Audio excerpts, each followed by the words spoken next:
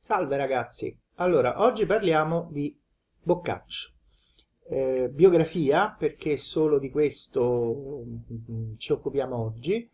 Boccaccio è definito la terza corona del Trecento, dopo Dante e Petrarca, il terzo grande scrittore del, del Trecento italiano, eh, per questioni ovviamente cronologiche. Prima di tutto orientiamoci un attimo nella cronologia di Boccaccio, nel tempo di Boccaccio. Sappiamo che nasce nel 1313, come vedremo, sappiamo che prima, nel 1309, è cominciata la, la cattività vignonese della Chiesa, no? Abbiamo visto. Sappiamo che nel 21 è morto Dante e che nel 37 c'è la guerra dei 30 anni. Eh, scusate, dei 100 anni, scusate. Eh, nel 48 l'evento fondamentale della vita di Boccaccio, quello più importante di tutti, cioè la peste, la peste di Firenze, grazie alla quale, in seguito alla quale, Boccaccio produrrà il Decameron. Io ho usato una cronologia leggermente diversa per datare il Decameron, l'ho datato al 51 perché due sono le ipotesi di datazione, ma non ha importanza questo. Questa è 41, 48, 53, ma va bene lo stesso. Sappiamo dopo che Immediatamente dopo Boccaccio eh, inizia evidentemente i suoi rapporti prima epistolari, poi reali evidentemente con, con Petrarca e che in seguito evidentemente alla conoscenza di Petrarca Boccaccio abbraccia effettivamente l'umanesimo e si fa chierico come è stato Petrarca. Sappiamo che nel 65 Boccaccio tornerà nel suo paese d'origine che è Certaldo, nel 74 muore Petrarca, l'anno dopo muore lui.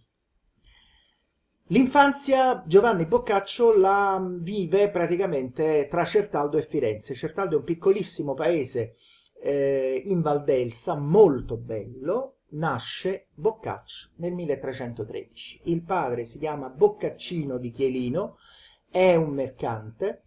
Eh, Giovanni è figlio illegittimo di Boccaccino e di una donna di condizione inferiore rispetto al padre, che è un mercante, un ricco mercante eh, e che riesce addirittura a eh, introdurlo evidentemente in scuole, anche se non eccezionalmente grandi, ma insomma in scuole eh, significative in cui Boccaccio comincia evidentemente a imparare i rudimenti del latino, delle arti liberali e comincia a eh, conoscere la Divina Commedia, che per lui resterà fino alla fine un altro caposaldo proprio della sua cultura personale. Ben presto, nel 1327, il padre eh, porterà il giovane Giovanni con sé a Napoli. Eh, Giovanni parte per così dire per Napoli per fare uno stage, per dirlo alla maniera vostra, eh, con il padre. Il padre è un mercante ed è in realtà un uh, corrispondente della Banca dei Bardi, che è la banca più importante evidentemente del tempo, presso la corte di Napoli, che è la corte di eh, Roberto d'Angiò, del re angioino Roberto. In realtà Boccaccio padre vorrebbe che il figlio imparasse il mestiere, imparasse, diciamo, i trucchi e tutto quello che è, per cui in realtà se lo porta evidentemente. Il punto però è che il ragazzo che è giovane e che in fondo è interessato relativamente alla mercatura, eh, coglie l'occasione di far parte di questa corte straordinariamente ricca, bella, eh, gradevole evidentemente, e soprattutto di una corte regale, evidentemente, per trascorrere la maggior parte del proprio tempo tra svaghi, spensieratezze e in fondo per scrivere, perché eh, come dire, la sua iniziazione letteraria Boccaccio l'ha proprio a Napoli e adesso vedremo. Intanto Roberto d'Angiò, il re ispiratore di questa corte straordinaria, è un vero e proprio mecenate, è un re arrivato eh, a Napoli evidentemente, è diventato re nel 1309, fino al 43 rimane re, conosce Petrarca, eh, si oppone a Enrico VII, l'imperatore tedesco che viene alla conquista di Napoli, chiamato da Dante evidentemente per portare finalmente in Italia eh, il controllo dell'impero tedesco evidentemente sugli italiani, ehm, Roberto D'Angiò incorona Petrarca, poeta laureato evidentemente, Petrarca lo ricorderà fino alla fine, in sostanza questo grande eh, mecenato e questo grande politico evidentemente, ma in seguito alla scomparsa di Re, di re eh, Roberto, la sua grande corte si disfa e praticamente si disfa in buona parte, potremmo dire pure la cultura napoletana, evidentemente, di quegli anni. Di conseguenza, evidentemente, Boccaccio vedremo che in realtà già sta a Napoli, già, già sta a Firenze. Cosa fa Napoli Boccaccio? A parte che scrivere, come vedremo. Boccaccio è impiegato presso la filiale napoletana del Banco dei Bardi, che è un potentissimo istituto di credito fiorentino, i cui fondi sono impegnati anche presso molti sovrani europei, tra cui appunto Napoli. Eh, ci sono filiali della Banca dei Bardi dappertutto in Europa, ci sono filiali dappertutto anche a Napoli. E come ogni bravo poeta eh, stilnovista, teniamo presente che Petrarca, eh, scusate, Boccaccio si avvicina allo stilnovismo a Napoli proprio grazie a Cino da Pistoia, che è un altro dei poeti stilnovisti di quel tempo, evidentemente. Boccaccio ehm, trasfigura l'amata eh, Maria d'Aquino, che in realtà è figlia illegittima di re Roberto, evidentemente, in questa Madonna Fiammetta, che è un personaggio strano, un personaggio che ritornerà più volte, evidentemente, nella carriera di Boccaccio, prima di tutto in un'operetta più tarda, che è l'elegia di Madonna Fiammetta, ispirata come al solito ai classici evidentemente e poi nel Decameron dove Fiammetta sarà una delle narratrici diciamo delle cento novelle eh, la relazione tra i due giovani comunque dura sostanzialmente sino al 1340, finché appunto Boccaccio resta a Napoli. Eh, cosa scrive a Napoli Boccaccio? Le opere del periodo napoletano sono sostanzialmente queste: Caccia di Diana, Filocolo, Filostrato e Teseida. Si tratta di operette in cui Boccaccio eh, unisce in maniera, devo dire, anche abbastanza eh, sapiente per uno così giovane, evidentemente, sia ehm, la conoscenza e anche molto approfondita della letteratura del suo tempo, poemetti mitologici, abbiamo visto addirittura ciclo bretone, evidentemente, in certi casi, con una conoscenza molto profonda dell'antichità e dei miti dell'antichità, soprattutto di tutto ciò che riguarda eh, il, mondo, il, mondo, della letteratura, evidentemente del mondo de, dell'antichità. Eh, sono però sempre opere evidentemente diciamo di consumo, opere legate alla corte, eh, servono per una forma di seduzione, per essere cortese, evidentemente cortigiano in un certo senso, in un ambito eh, pienamente appunto cortigiano per capirci, servono ad esibire erudizione, mh, mm, ma sono in realtà anche molto molto godibili. Nel 1343 la Banca dei Bardi però fallisce e fallisce perché i crediti che Edoardo III d'Inghilterra non restituisce avendo combattuto e perso la guerra dei cent'anni evidentemente eh, sono sostanzialmente molto grossi. Boccaccio quindi è costretto in seguito alla chiusura, al fallimento della banca e alla chiusura della filiale a tornare a Firenze. Ha una certa fama letteraria già, ma questo non gli impedisce di avere problemi economici e quindi Giovanni è costretto evidentemente a migrare, cercare tra varie corti, eh, Ravenna, Forlì evidentemente, appunto di eh, incarichi, incarichi eh, pubblici. Eh, a Firenze eh, Boccaccio scriverà invece la commedia delle ninfe fiorentine, l'amorosa visione, che è un poema allegorico alla maniera di Petrarca, proprio una, eh, tipo i trionfi per capirci, no?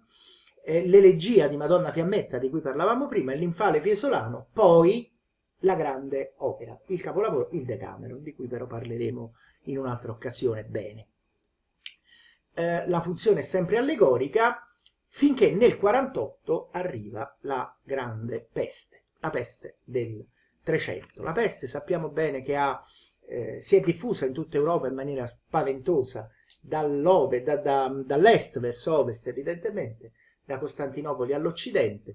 Sappiamo che l'hanno portata le navi genovesi, sappiamo evidentemente che la peste ha falcidiato la bellezza di un terzo della popolazione europea, sappiamo che si è diffusa da sud a nord evidentemente in Europa, ha travolto l'Italia intera, anche Firenze è stata colpitissima, non colpita ma colpitissima, sappiamo che è stata una vera e propria falcidia, un disastro, un disastro evidentemente con conseguenze enormi sia sulla società perché ha dissolto completamente i legami anche familiari evidentemente che c'erano eh, tra le persone sia un disastro dal punto di vista economico perché praticamente ha ridotto il numero dei lavoranti per capirci.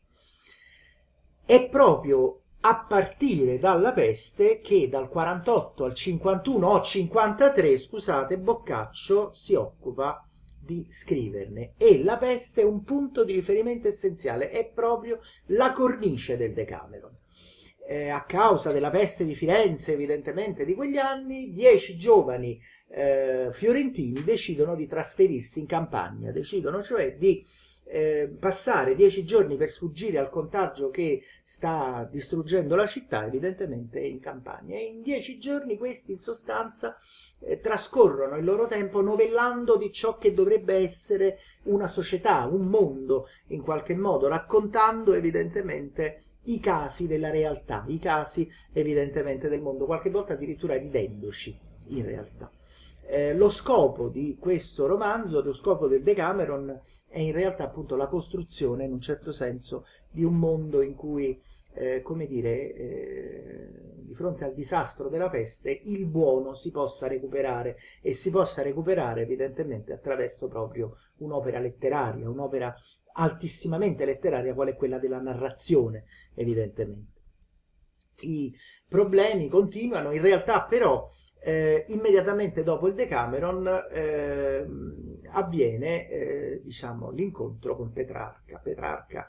Di Petrarca Boccaccio ha sentito ampiamente parlare, ha letto tutto ovviamente, ha scritto anche delle composizioni celebrative, lo incontrerà solo nel 50 però, in occasione del Giubileo eh, quando Petrarca verrà in Italia, evidentemente a Roma per il Giubileo. A seguito di questi rapporti, Boccaccio eh, si avvicinerà sempre di più all'umanesimo fino a diventarne proprio un punto di riferimento per la generazione successiva.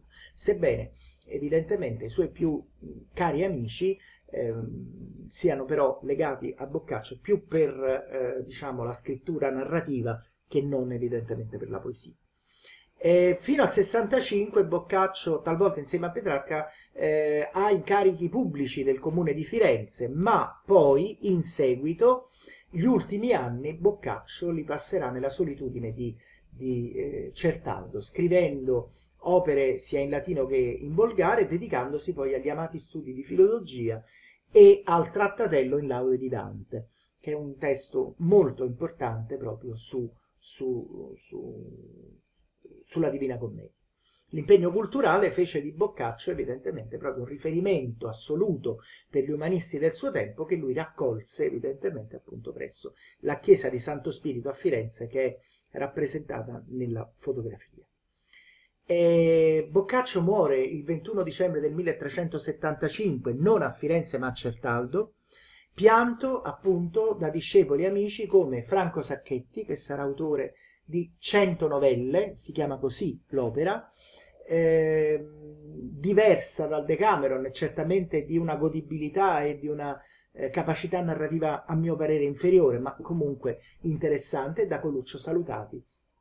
Invece è un, un, un filosofo, eh, un filosofo neoplatonico, sepolto è Boccaccio e vedete l'immagine della, della tomba nella chiesa dei santi Jacopo e Filippo, sempre accertato.